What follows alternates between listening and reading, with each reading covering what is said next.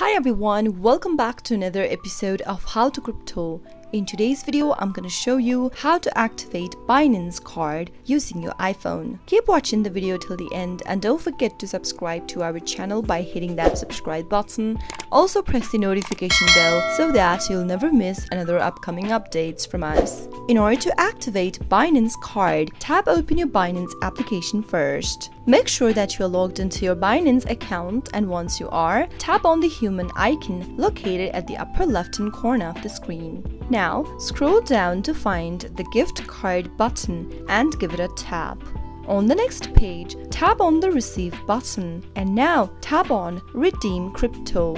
Soon after you do that, on the next page, enter your gift card code located at the back of your gift card, which is 16 characters long. Once you are done typing in your gift card code, tap on the redeem button, and that way you'll be able to activate your Binance gift card online. I hope the tutorial was helpful to you. If it was, go ahead and give us a thumbs up. I'll soon be back with more tutorial videos like this. Thank you for watching.